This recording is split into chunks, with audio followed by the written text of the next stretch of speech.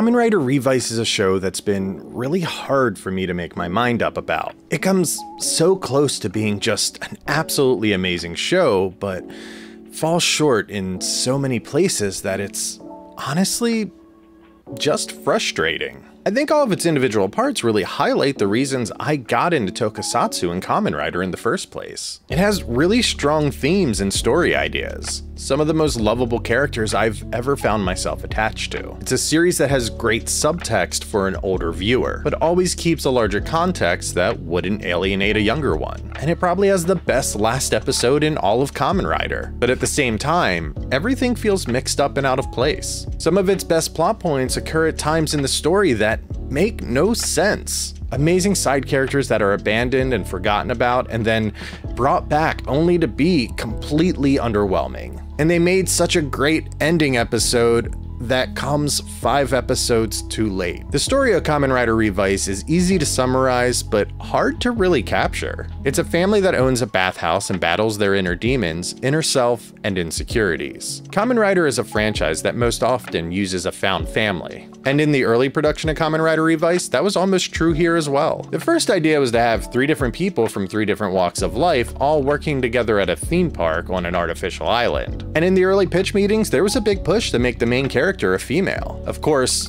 that idea didn't last too long. The writers were reminded and it was reinforced that Kamen Rider is a show for boys that some girls might like. Planning for Kamen Rider Revice took place in the throes of the pandemic, a fact that was essential for some of the pillars that were pushed in the show. Parents were home with their kids and they wanted children to view their family from a different perspective. Families can fight, they can walk different paths, they can be infuriating, and some have secrets that can hurt you, but at the end of the day, these are things that can be worth fighting for. Bringing things like the family eating sukiyaki together, a symbol of their connection, or the fact that the family business is a bathhouse. Bringing attention to the fear that establishments like theirs were struggling to make ends meet during the pandemic, and in danger of closing. The show follows the Igarashi family, consisting of the children, Ikki, the oldest, Daiji, the middle child, and Sakura, the youngest, as well as their parents Yukimi and Genta, mostly focusing on the three Igarashi siblings. I honestly like all of these characters if you boil them down. Ikki, our main character, is a former soccer player who gave up on his dreams to take care of the family business. He's hot-headed and quick to jump into things without fully thinking of the consequences. Daiji is in a military organization called Fenix, but is shy and reserved and makes up for it by being overly loyal and prideful. He looks up to Ikki but feels overshadowed, and develops an inferiority complex that the show boils down to being an allegorical sibling rivalry. Sakura, being the youngest, is a classic overachiever. She tries to be the best or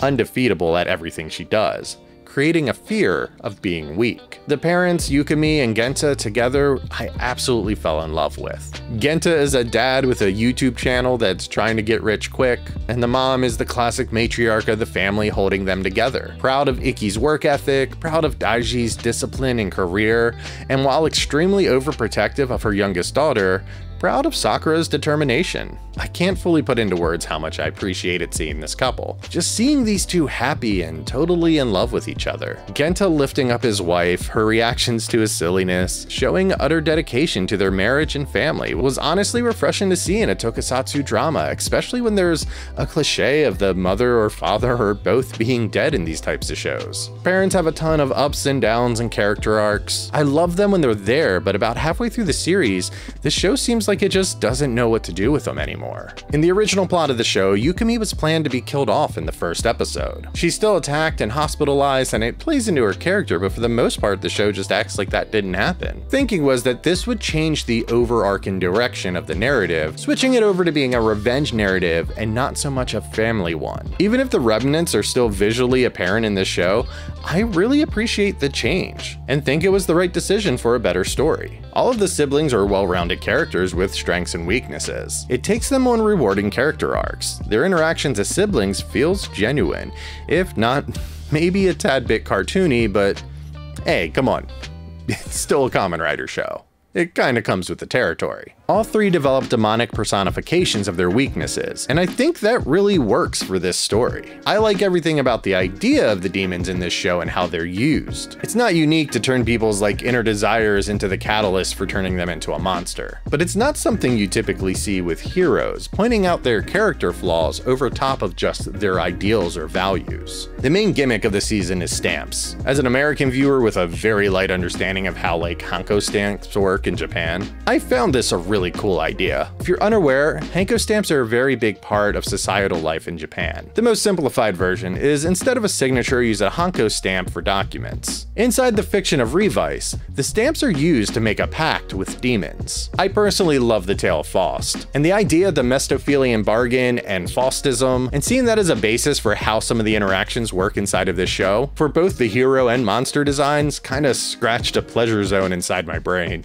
And yet, your mileage may vary. I've heard a lot of people dislike the idea of the stamps and the demons, and of course taste is always subjective, but for me, it really worked, at least conceptually. Each of the siblings have their own demon, but they are very, very different from one another and very personal to each character. The most obvious one is Ikki with Vice, I mean, he's the guy on the poster, and half the name Revice. Vice is like what if Ikki's hot-headed nature went unchecked, personified into a demon that was designed with mixing Marvel's Venom, a genie, Deadpool into a character that's kind of played like a larger-than-life Disney villain. Daiji's demon, however, goes into the opposite direction as Vice. Daiji's biggest inner turmoil is his feelings of inadequacy, the part of you that's jealous and feels unworthy, part of you that envies to the point of hatred. So this demon is personified as himself, or the person he would be if he didn't have a consciousness telling him to behave and hold back. And then there's Sakura, who I really like the idea of. Sakura is a character who's pushing herself in all directions both studious and athletic,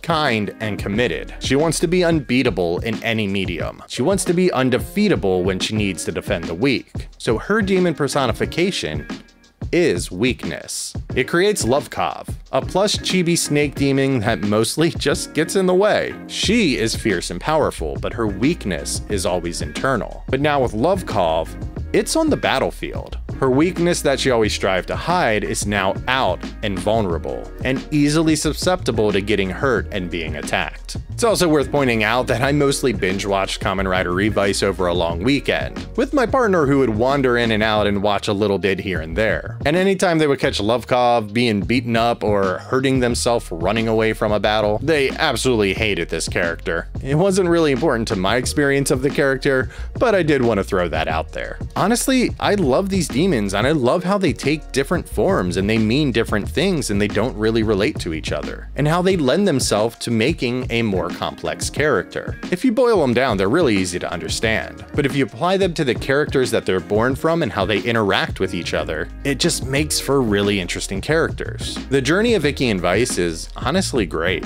You're free to disagree, but I loved watching the character arc of these two together. I heard a lot of people complaining about how Vice is annoying, and yeah, he's the type of character I typically shy away from. But honestly, and maybe it's because he's a demon, I think he works. I liked his fourth wall breaking, and for me, that just felt like a weird demon living inside of somebody's head projecting outwards. Just thinking of those moments like an inner monologue that escaped the inner part. In the beginning of the show, Vice attacks Ikki's mom and always wants to eat people. Ikki is reasonably untrusting of Vice. Their relationship builds not just with Icky, but with the entire cast. He goes from wanting to eat people to wanting to be a part of the family meal, partially because his base instincts are to eat, but narratively, it's because that's where the family connects. That's where it reinforces their togetherness through better or worse. Watching the mom outwardly show disdain for Vice and then later tells him that he's part of the family just felt really right. There's not some instant moment where everything changes, it's a subtle relationship growth over the entirety of the show. And by the time it gets there, it feels really earned. Outside of the Igarashi family, there's a whole slew of supporting characters. I won't go into each and every one of them because this would just be an 8 hour video. But the two organizations I want to talk about are Fenix and Deadmans. They're interlinked in a lot of ways and they show opposing views to our main themes. Putting it simply, Deadmans worships a vagina god and turns people into monsters, and Fenix says, don't do that. Daiji and eventually Ikki are both part of Fenix. I found this a really cool organization full of interesting characters. It's where you find both Hiromi and George. Hiromi is probably the show's biggest misstep for me. He's a good character and the original plan was for him to be killed off in the first episode. But due to the actor's enthusiasm in the audition, it made them rewrite the character so he would be a bigger part of the show. I like him a lot, until I don't. He plays the good soldier who will die for his ideals, always shouting that he'll lay down his life for anything that's worth defending. Eventually something happens to him and it's a giant turning point to the show. It sows doubts into Daiji and it rocks everybody's foundation of the world. It changes the battle lines, it paints the whole world in gray. It's the moment that the show aligns with the themes of the demons. There's no good and evil, simply a dialogue between the two. Two sides of the same coin. He stands for so much and represents the show's themes so prominently. He disappears, and then, in a clip show of all things, he's just unceremoniously brought back. And from there, he's just around. He does do things, but it ultimately doesn't do anything for his character. These are all things that could have been given to somebody else. And it just feels like it undermines everything that he stood for in the first half of the show. I love that they wanted to give him a bigger role, but ultimately they just had no idea what to do with this character. And then there's George. He's a character that I'm ultimately conflicted on, but in the short term, he's my goddamn boy. I don't know if it's intentional, but George reminds me of Hunter S. Thompson. He's obsessed with Kamen Riders, and it never clearly states whether the old Kamen Riders are in this universe or not, but it is heavily implied. George also makes the stamps for turning into Kamen Riders, and is obsessed with the Kamen Riders, and he's honestly just a super fun character. However, him making and delivering stamps in the show is a total letdown for me. I'm fine with him creating and making the stamps and other devices. And in theory, I love how that wraps into his larger character arc throughout the series. But anytime he gives like a new power up to somebody, it just feels so cheap. It's like he just makes these things and then throws them to people with like no rhyme or reason. It's fine. It's just a lot of the times it just doesn't feel earned by the show. He's just like, yeah, well, here's a here's a power up. Have fun, I guess. This doesn't sink the show or anything like that. I just I found it distracting. He's also the spot where Kamen Rider Revice is the 50th anniversary of Kamen Rider comes into place. Him being a fan of past riders, and I'm still mad this clip from the intro never really showed up with him like having Kamen Riders contained in an experiment. He gives Revice a ton of Kamen Rider themed upgrades. But it was a conscious choice to make these be visual references to past Kamen Riders, and not so much like a giant celebration like in Kamen Rider Decade or Kamen Rider Zi-O, making the choice not to focus on the Kamen Riders, but focus heavily on the drama of the show. And yeah, more to come on the suits in a little bit. George spends most of the series being morally ambiguous. You discover why, and really as long as you don't think about it too much, it makes sense. I like all of the parts of his story arc, but they all happen in really inconsistent bursts. He's a character that gets a lot of screen time and a lot of the plot develops around him. He's estranged from his father who comes back, serves as a really great narrative contrast to the Igarashi family. But by the time that idea finally pays off, it's just far too late into the season.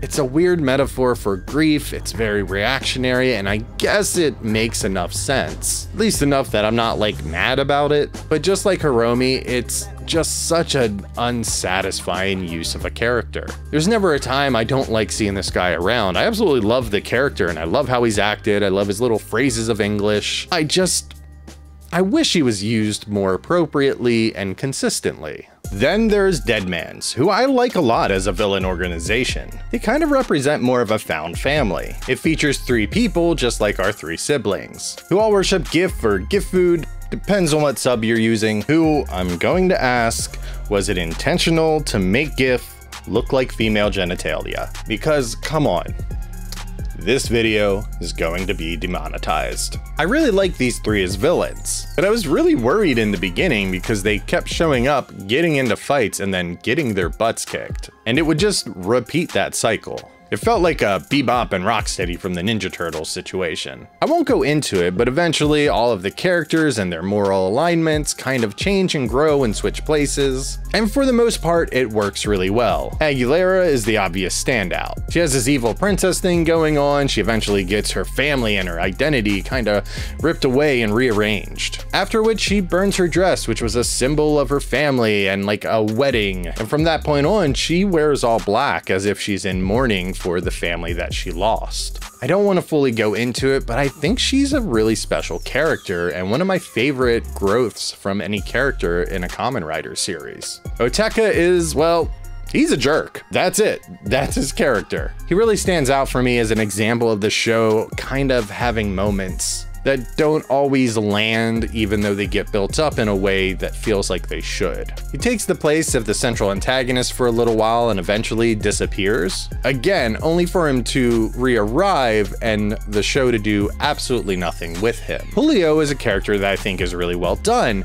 but again is just this valley of missed opportunity. He morally flexes all over the place. He also does a good job to highlight how there could be redemptions or how different characters can can view the world differently when it comes to ideas of justice. He's a character that the show projects whatever it needs to onto him. He always wants to be a bigger part of the plots happening around him. But by the time the show gives him a significant moment, it just doesn't land. And I also have to point out that this man has the world's most unfortunate haircut. Then there's Giff as the main villain. I've mostly heard people dismiss Giff, but I actually love this thing as a villain. Love how you spend most of the show not knowing what the hell it is. And the fact that it looks like that, it's ominous, and it made me spend most of the series guessing what it is. In the end, all my guesses were exactly right because it didn't try to pull a fast one on you. It is what it said it was going to be. It's evil incarnate. It's a bad guy. I think Giff only has like five lines through the entire series. He's a symbol of evil, and that's all he really is, but that's also what I liked about him.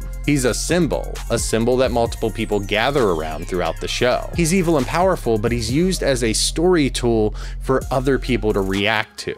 He doesn't make for an interesting villain, but he makes for a really interesting story device. Who's the enemy is always changing in Revice, but Giff is always somehow at the center of it. He represents this idea of fear and subservience. The idea that giving up freedom might lead to peace, and understanding that puts the morality of the world in a gray area. There's never a time where Giff isn't thought about as the bad guy, but just because he's fearsome doesn't mean that everybody's answer is to find a way to destroy him. For a lot of characters, bowing down to Giff is the right move. Giff is just something for other characters to react to, and that's something that in Revice I really liked about its storytelling. The pull between good and evil is not black and white. The original Kamen Rider from the 1970s was a war tool, developed by Shocker, an organization that was birthed by former Nazis. He escapes from being brainwashed, and that puts Kamen Rider in kind of a gray area. I think Revice really uses this same idea and paints its characters into a rich tapestry of conflicting ideas and values.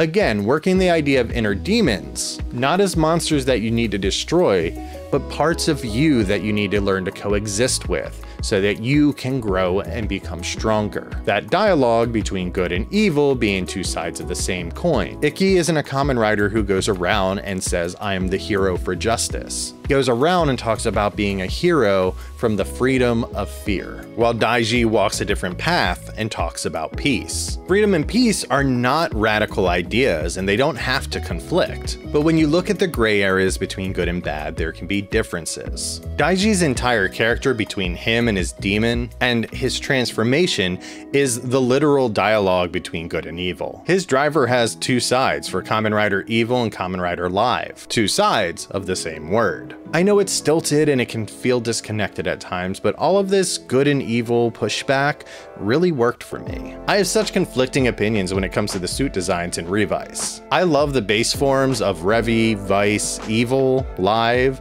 Jean, and apparently I'm alone thinking that Aguilera's B butt face is cool. I think Aguilera's is really neat. Let's go. What? Yeah, oh, yeah. I like it. Go. You, you Yeah, tripping, bro. You tripping. nah, that's get your your ass out of here. You That's tripping. Thinking. Started off not liking Vice's form upgrades, but I grew to really like the like motorcycle style helmet over top of his demon head, because at the end of the day for the suit actor, the demon head is a helmet, with another helmet on it, so it's double helmets. However, the suits I didn't like, I like really didn't like. And I'm sorry in advance, I feel like everybody loves it, but I did not like the design of Kamen Rider Demons. I can't stand this. It's the asymmetrical spider web for me. I could be fine with this, but like, Demons is such a huge part of the show, and in so many of the stories and so many people transform into him. And I don't dislike Over Demons as much, but honestly, it's just because I find it incredibly boring. And then there's the demon army guys, and I'm sorry, it just, they don't do it for me. But Kamen Rider Jean is one of my favorite suits in all of Kamen Rider. The colors, the sleekness, and the like loop thing on the visor, I'm just so into it. There's a thing I struggle with in tokusatsu that I find really distracting, and that's the dissonance between characters in and out of the suit. We know that everybody is played by suit actors and not the actors that are in the drama.